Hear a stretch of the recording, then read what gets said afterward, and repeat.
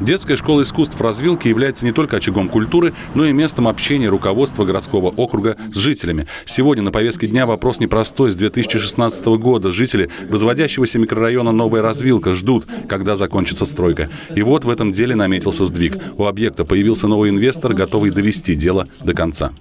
Мы несколько раз общались с представителем застройщиков, со вновь появившимся инвесторов.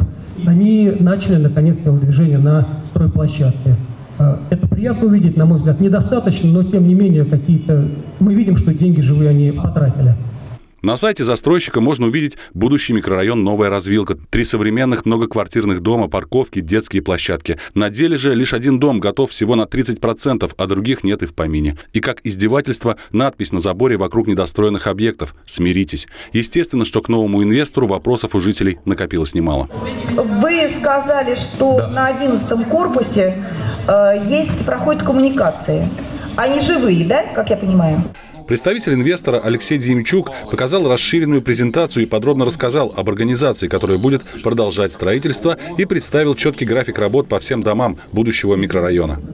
Первый генподрядная организация на 12-м дом «Мирострой». Мы договорились о первом этапе работы, о монолитных работах, и, соответственно, они вышли и начали работу подъема палубки, зачистку арматуры, э, подготовку к ведению монолитных работ. Действительно, уже сейчас на стройке появились люди, заработал башенный кран. Уже поэтому, а также по проведенным предварительным мероприятиям, можно судить о серьезности намерений инвестора. Участники долевого строительства, пришедшие навстречу, также положительно восприняли озвученную информацию. Убедительно говорили многие.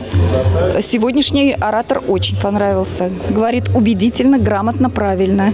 И хотелось бы, чтобы у него все, говорю, что получилось. Мы очень в этом надеемся и верим.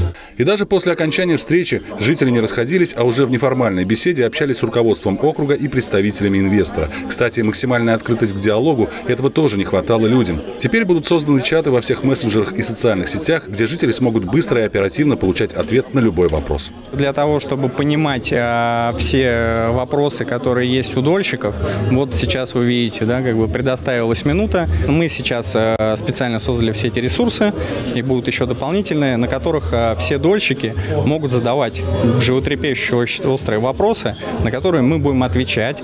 Кроме того, в Инстаграме еженедельно будут выкладываться фото со стройки, чтобы люди могли наблюдать за ходом строительства. Руководство городского округа, в свою очередь, также предъявляет ряд жестких требований. Прежде всего, это касается временных рамок. Нашей договоренностью является то, что уже в ближайшее время он должен показать динамику. Вот э, работы уже начались, мы это видим, да, но он должен показать за ближайшие 2-3 месяца э, стремительную динамику достройки корпусов. По предварительным расчетам, получить ключи от новеньких квартир люди смогут в начале 2022 года. Максим Козлов, Александр Логинов. Видное ТВ.